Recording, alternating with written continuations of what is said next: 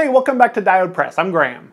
So I was recently contacted by John over at Saunders Machine Works and the YouTube channel NYC CNC to put together a really large scale woodcut print and then make a small edition of them.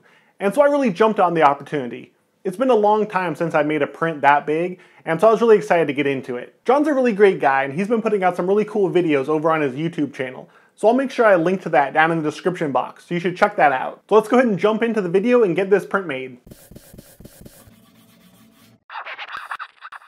John was really open for ideas of the print, and we discussed something that would highlight the CNC machines that he uses. So after some discussion, this is the image that I created. I tried to incorporate some vintage technical drawing cues, but also highlight the modern technology. And then it was time to get it onto this giant piece of 3 quarter inch Baltic birch plywood. I first tried using the projector above my desk to get the image down, but it was just too small, I'd have to break it into too many small sections.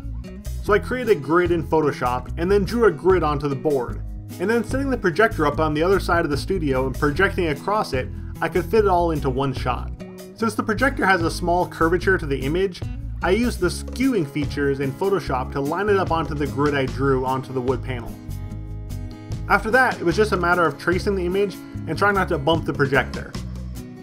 The dog came and helped for a bit, and then the cat jumped in also. I was looking at this as a way to quickly get my image onto the block, but since I really wanted to have you know straight lines and clean edges, I ended up clamping my drafting machine onto the board and then cleaning up the lines a little bit more. This works great for drawings like this with so many parallel lines. I could have probably left just the outlines and started carving at this point, but I really wanted to see the whole thing filled in and make sure when I was carving that I didn't inadvertently carve something I shouldn't. Plus I got a chance to play with my new DIY camera slide. I used a wash of India ink and water over the block before carving it. This tones the top layer of wood, so when you carve away, there's no mistake of what you've done. and I spent many nights carving this block.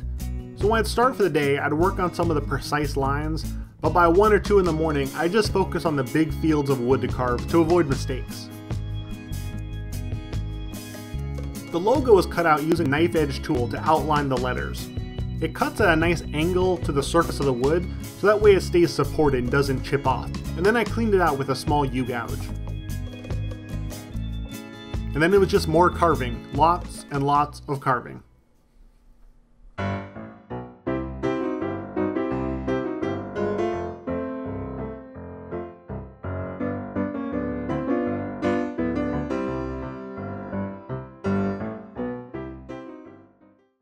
Since I definitely don't have a press at my studio large enough for this block, I had to run the proofs by hand. I used the same ink that the final edition was going to be printed in, which is Gamblin's Portland Intense Black. Using my tiny brayer, I carefully inked up the whole block in order to print it with the wood spoon. I wasn't looking for a really good print, I was really making sure that I carved deep enough and had clean edges.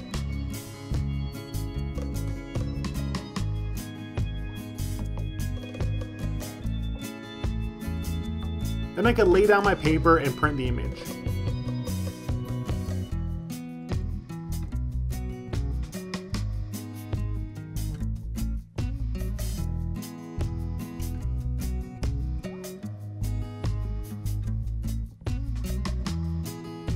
Now I could clean up some of the uncarved areas. I wanted the print to still have a technical drawing feel, but still look like a handmade woodcut. So I left a bit of the background chatter, and I chose wood and paper that would leave a nice wood grain pattern in the printed areas. Now I'm almost ready to head out and print the image, but first I need to tear down some paper. I created a quick system to drop in a full-size sheet and quickly arrange my tear bar to the correct size. The paper is going to need to be 24 by 36 inches, and it can't be skewed so that way they fit in a frame. So I lined up the best edge along a wooden rail and then tore the opposite edge to width. Then I could rotate the paper to the other edge and tear it to length. Rotating it allowed me to tear off both watermarks on the corners of the paper. Then on the back I wrote the year on the corner of the sheet, so I knew this was the back of the paper when I go to print it. So as I mentioned, there's no way for me to print a block this big in my studio, at least not in any efficient manner. So I reached out to Bill Fick and Brian Garner over at Supergraphic in Durham, North Carolina.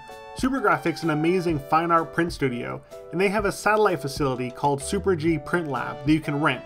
and so that's what I did for this project. My first step was to mix up some Prussian blue and some Portland Intense Black, and then got in a good workout rolling it all out.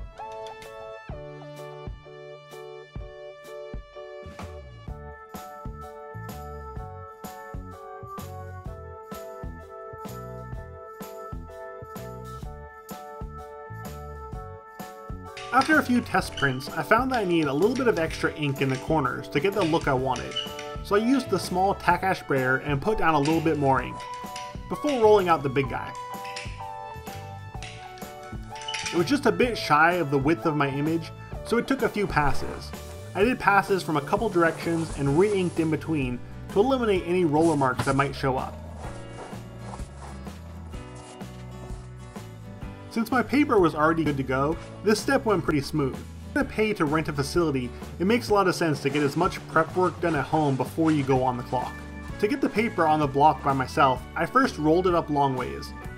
I used a small strip of foam to raise up a wooden runner, and I used it as a ledge to rest the paper against, making sure I lined it up to the block. To print it, I tried different layers of felts and boards, but in prepping at my studio for printing, I also cut down a large piece of matte board, so this board and one felt gave me the impression I was after. The paper is a thin 175 GSM paper, so it doesn't push into the block very far, and that wood grain really shows through nice.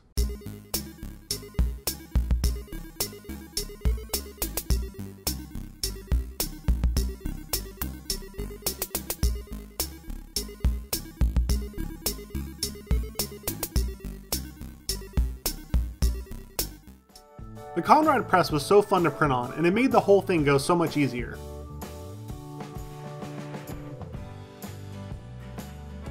And finally I could peel out my paper and stick it in the drying rack. And I did that about 30 more times and then called it a day. Now before I could sign and number the prints, they need a few days to dry, so I stopped by the hardware store on my way home and put together this rack, and I'll make a future video on how I put it together. And here's the finished print, all framed up and in John's shop. I'm really happy with how it all came together, and I'm really looking forward to doing some bigger prints in the future. Thanks for watching! To keep up with the videos when they're posted, make sure to subscribe to the channel. And if you want to help support this channel, you can check out the Diode Press Patreon page, where I post behind the scenes photos, as well as other patron rewards. Thanks!